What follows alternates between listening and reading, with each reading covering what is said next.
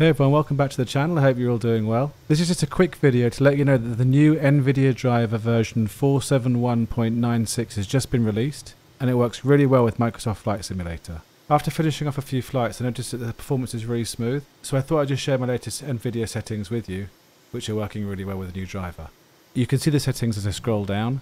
A lot of them are my global settings, which I set before, but you can see the ones that I've changed, which are bold. I have been experimenting with the different NVIDIA settings, and what you're seeing is pretty much the best I'm getting, which is great. To update the driver, you can either do it automatically through your GeForce experience, or go directly to the NVIDIA download page and look for the GeForce Game Ready driver. You're looking for version 471.96 with the 31st of August 2021 release date.